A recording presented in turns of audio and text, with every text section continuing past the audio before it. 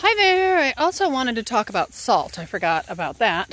But um, when you're eating a real food diet, you know, we've heard over and over watch your sodium, watch your sodium, watch your sodium.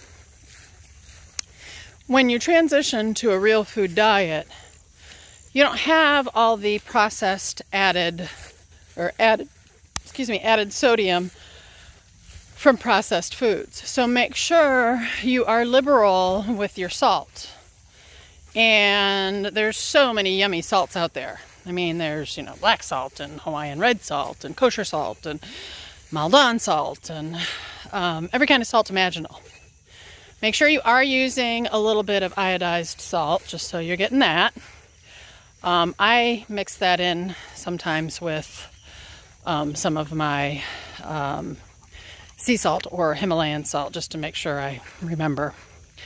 Um, but yeah, so make sure that you are liberally um, salting things because that could be a nutrient you're a little bit low on when you're switching over from a standard American diet to a real food diet.